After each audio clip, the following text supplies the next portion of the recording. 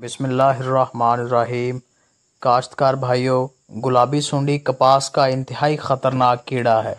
शदीद हमला की सूरत में कपास की पैदावार कम हो जाती है और रुई की क्वालिटी भी मुतासर होती है।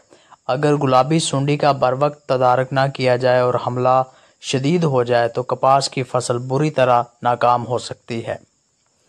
इसकी पहचान के हवाले से बात करें तो परवाने का रंग भूरा होता है, इसके अगले पर नुकीले और पिछले पर चौड़े होते हैं। अगले परों के दरमियान एक काला निशान और लंबाई के रुख काले रंग की पट्टी होती है और पिछले परों के पिछले किनारों पर बाल होते हैं। नुजायदा सूंडी सफ़ेद होती है, जिस पर बाद में गुलाबी रंग की धारियाँ रोनमा हो जाती हैं। सर गहरा भूरा होता है। सूंडी मुतासरा टिंडों से निकलकर ज़मीन पर पड़े हुए पत्तों के नीचे रेशमी खोल में प्यूपा या कोया की शक्ल इख्तियार कर लेती है। इस हालत में कीड़ा ना हरकत करता है और ना ही कुछ खाता है। गुलाबी सूंडी के दौरे हयात की दो इकसाम हैं। अंडे से तीन से लेकर दस दिन में सूंडी निकल आती है। सूंडी आठ से सोलह दिन में प्यूपा बन जाती है। प्यूपे से छः से सत्रह दिन में परवाने निकल आते हैं। परवाने से तकरीबन दो से इक्कीस दिन तक ज़िंदा रहने के बाद ये परवाने जो हैं वो मर जाते हैं। इस तरह एक दौरे हयात जो है, वो बीस से चालीस दिन में मुकम्मल हो जाता है। गुलाबी सुंडी अप्रैल से नवंबर तक कपास में पाई जाती है। अक्टूबर, नवंबर में आखिरी हालत की सुंडी दो बीजों को जोड़कर डबल सीड बनाती है और इसमें तीन से लेकर पाँच माह तक ज़िंदा रहती है। जब मौसम इसके लिए साजगार हो जाता है तो ये सुंडी प्यूपा बन जाती है और इससे परवाने निकलना शुरू हो जाते हैं। मार्च और अप्रैल में परवानों की तादाद बहुत ज़्यादा हो जाती है। इस दौरे हयात को तवील दौरे हयात कहते हैं।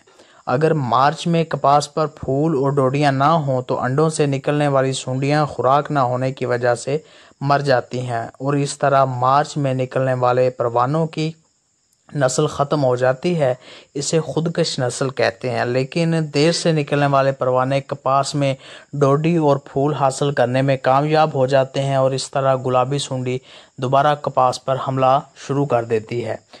सुंडी फूलों, डोडियों और टिंडों को नुकसान पहुंचाती है। हमला शदी हमला शुदा डोडियाँ और टिंडे अच्छी तरह खिल नहीं पाते और हमला शुदा फूल मधानी नमा शक्ल इख्तियार कर लेते हैं। गुलाबी सूंडी फूल के नर और मादा हिस्सों को ज़्यादा खाती है। नरम टिंडों में सूंडी दाखिल होकर बीज को अंदर ही अंदर खाती रहती है। हमला शुदा टिंडे जसामत में छोटे रह जाते हैं और ठीक तरह से खुल नहीं सकते। चुनाई मुश्किल हो जाती है, फुटी की क्वालिटी बीज से मुतासर हो जाती है। शदीद हमले की सूरत में कपास की फ़सल मुकम्मल तौर पर जो है वो तबाह हो जाती है। मतदल दर्जा हरारत और मरतूब मौसम में गुलाबी सूंडी की तादाद जो है वो बढ़ जाती है और हमले की शिद्दत में भी इजाफा हो जाता है। इसके अगर इंसदाद की बात करें तो मुदानी नमा फूल जो नज़र आए फ़ील्ड में, उसको तोड़कर ज़मीन में दबा दें। अगेती और बेमौसमी कपास की काश्त ना करें। आखिरी चुनाई के बाद खेतों में भेड़ बकरियाँ चरवाएँ और छड़ियों पर मौजूद हर किस्म की खोखड़ी या बचे खुचे टिंडे जो हैं, उनको तोड़कर तल्फ कर दें। कपास ख़त्म होने के बाद खेतों में रूटावेटर चला दें। सर्दी के मौसम में बचे खुचे टिंडे और खोखड़ी जला दें। फरवरी और मार्च में कपास की छड़ियाँ उलट पुलट कर दें और ढेरियों के नीचे से खोखड़ियाँ और टिंडे अलहदा कर दें। सर्दियों के मौसम में जिनिंग फैक्ट्रियों में मौजूद तमाम बकाया कचरा तलफ कर दें या जला दें। मार्च तक पनोला से खल बनाने का अमल मुकम्मल कर लें। मार्च तक कपास के बीज को तेज़ाब लगाकर इसका बोर उतार लें और इसमें मौजूद डबल सीड अलहदा करके तलफ कर दें। बीज को एक या दो मरतबा धूप ज़रूर लगवाएँ।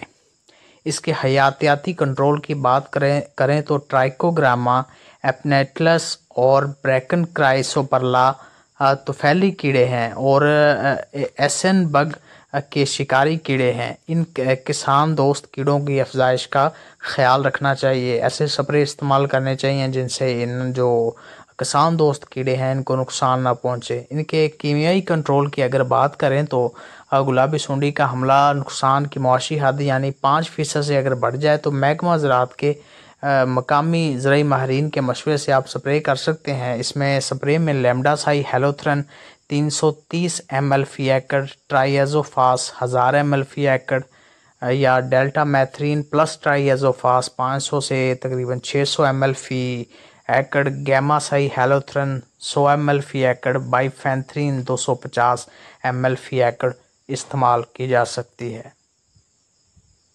आखिर में हमारे चैनल को सब्सक्राइब कर दें ताकि हमारी मज़ीद वीडियोज़ आप तक बर वक्त पहुँच सकें।